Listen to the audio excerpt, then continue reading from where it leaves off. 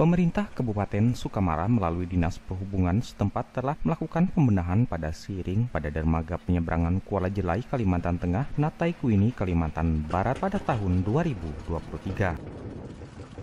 Kepala Dinas Perhubungan Sukamara Samsir Hidayat mengatakan bahwa selain pembangunan siring sepanjang 78 meter dan pembangunan pos jaga yang bisa digunakan sebagai tempat berteduh yang menelan anggaran sebesar 200 juta rupiah. Pembangunan tersebut sebagai upaya memenuhi kebutuhan masyarakat di Danau Rusa yang ingin ke Kuala Jelai karena menjadi jalur transportasi sungai yang menghubungkan antara Sukamara dan wilayah Kalimantan Barat. Samsir Hidayat berharap dengan pembangunan itu pelabuhan penyeberangan menjadi layak dan aman bagi pengguna dan dapat dijadikan sebagai tempat sandar dan labuh bagi kapal-kapal penyeberangan.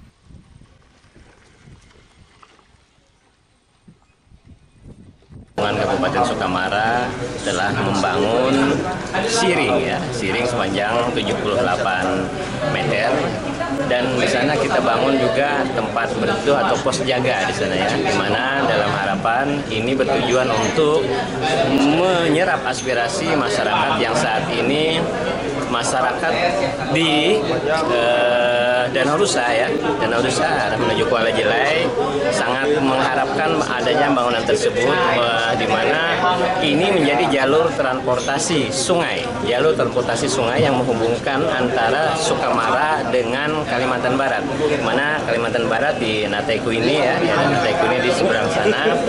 Di mana dalam rangka itu kami dinas perhubungan telah mengakomodir dengan membangun bangunan tersebut dengan harapan nanti itu bisa dijadikan sebagai tempat sandar, tempat labuh dan saat ini juga tempat itu telah di apa dijadikan sebagai transaksi perekonomian ya transaksi perekonomian di Sukamara di mana masyarakat me, apa menyalurkan hasil perikanan maupun pertaniannya melewati uh, daerah pelabuhan penyeberangan tersebut. Selain penyeberangan tersebut juga masih menggunakan klotok sebagai angkutan orang maupun kendaraan roda 2 dan 4 setiap harinya banyak warga Kuala Jelai yang bekerja di perusahaan perkebunan di wilayah Kalbar dan menyeberang ke Natai. Kuini.